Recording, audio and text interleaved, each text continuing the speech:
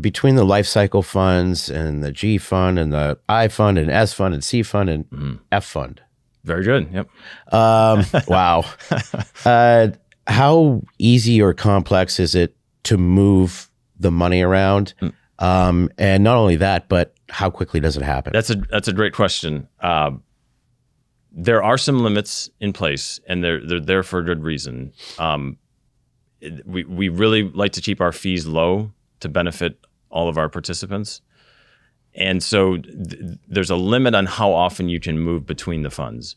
It'll never there's never a dollar cost associated with it, so we don't charge a you know a commission for a trade or anything like that, or any f- processing fee it's always free to move between the funds, but you can only do um, two moves per calendar month. And then even after that, if you still need to move, you can. It just has to be to the G fund. So what that means is that, you know, if if for some reason, if there's like a fire sale or something like that. yeah, it, It, or if you have, I mean, there, there's a good reason for it. If you had a personal emergency and you needed to lock in, you know, you you knew that you were going to be making a withdrawal and you had already moved twice within that month, but you wanted to get your money somewhere safe because you had some expenditure coming up. You can always you can always go back to the G fund. But let's say the first day of the month, you decide, oh, I don't, I don't really want to be in the C fund anymore. I want to be in the I fund, and you you move from C to I. That that burned through one of your moves. A few days later, you say, oh, I was just reading about the S fund, some of these smaller companies in the U.S. I'm going to move from I to S. That's two. Now you're done for the month, except you can move back to the G. You can always move back to the G fund.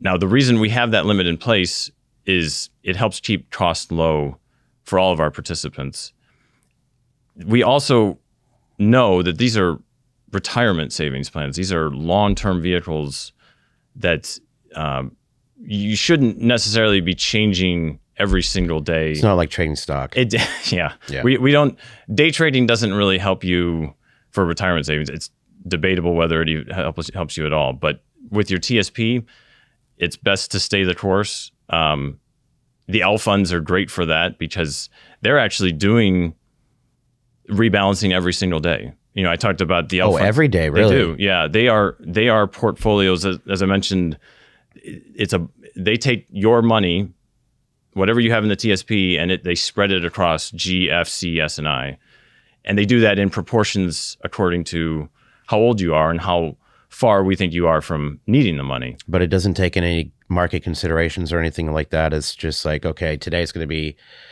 99.9% in this, and then tomorrow's going to be 99.98%. and they're they're on a schedule which we call a glide path. So it, it, it- you start out high and you, you're trying to come in low and hopefully land smoothly at retirement.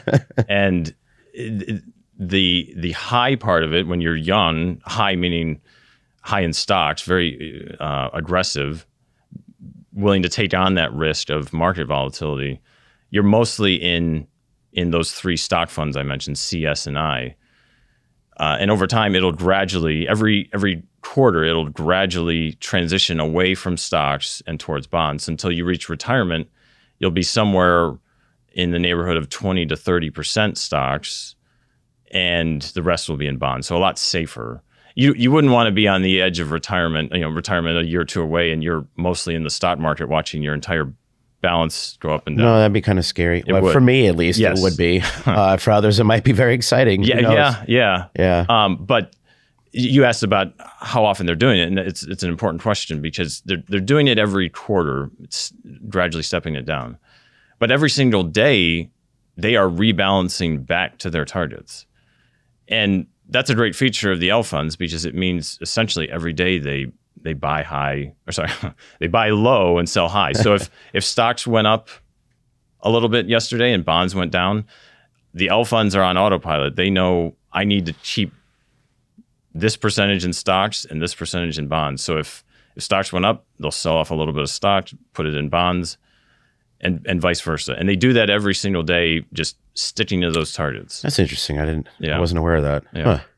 Connect with the benefits you earned and deserve. Visit news.va.gov for current events, sign up for the Vet Resources e newsletter, subscribe on YouTube for content like the SITREP and VR5, or follow VA on social media. Visit the video description below and get connected today.